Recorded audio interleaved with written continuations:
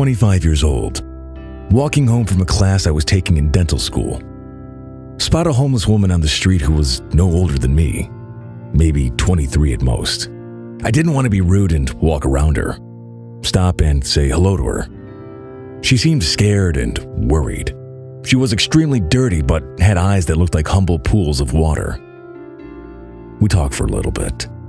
Grew up hearing homeless people just enjoy human contact. Wanted to make her feel more human, besides, I didn't have any money on me. Eventually, find out that she was kicked out by her parents when she was 20 and she's been roaming the streets ever since. It almost disgusted me to think she was a 7 out of 10 while I was talking to her, but she didn't smell all that bad. Feeling charitable, I offer her a shower and a meal at my house. She's still very shy, but she had that humble and thankful look in her eyes. Start walking back to my apartment while my neighbors are giving us dirty looks. We reach my door, walk inside, and I direct her to the bathroom. My ex had luckily left some of her shower supplies, so she could use those for today. She comes out of the shower after about 35 minutes, wrapped in a towel with a pile of filthy washcloths. She's a solid 8 out of 10 without the dirt. Give her a few of my ex's clothes. Nothing fancy, but enough to make her look like a proper lady. While she was washing up, I made a simple pasta and red bean salad.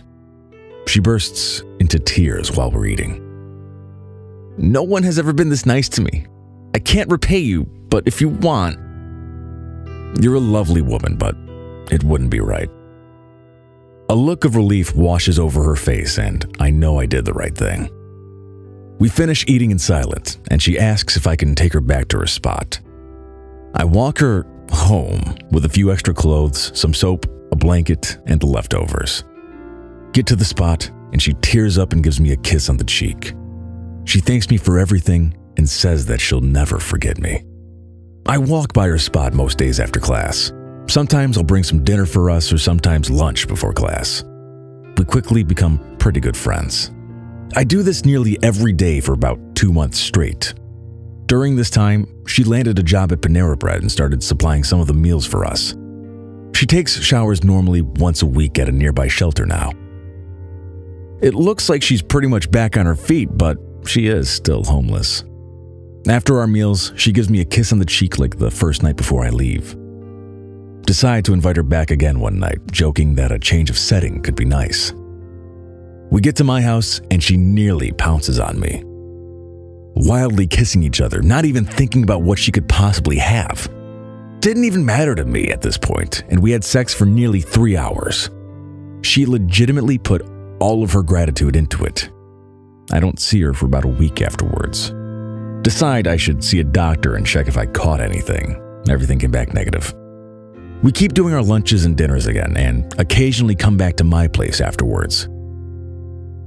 It's been about another two months now since she started working at Panera, and she has an actual bit of money saved up. Feels right to make us an official couple. She moves in with me.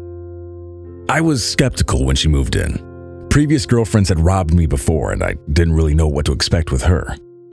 We have great passionate sex the first night she moved in, and we pass out next to each other. I wake up in this really nice fog, not wanting to get out of bed. Roll over to look at her. She's gone. Oh, god damn it, I'm a fucking dumbass. I know everything valuable is going to be missing now.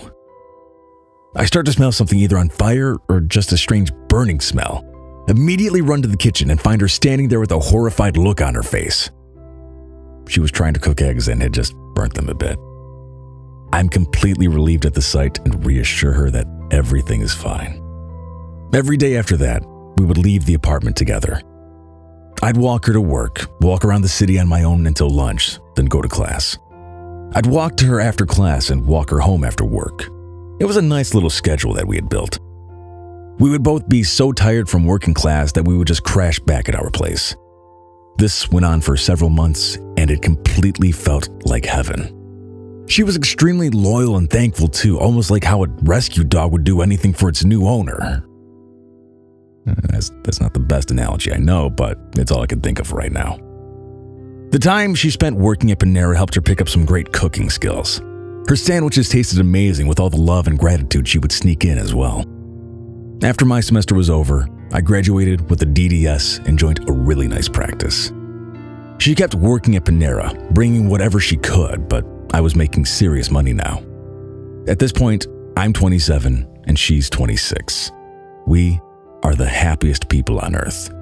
In that year of dating, I never found her sleeping around, stealing, and she had fully kicked her past drug habits. I knew that I found the right girl. It's been five years since I met Grace. We are happily married now and are expecting our first son in a few months. There are some nights I find her crying at the kindness I showed her that first night, but she doesn't realize how lucky I am to have polished that diamond I found in the gutter.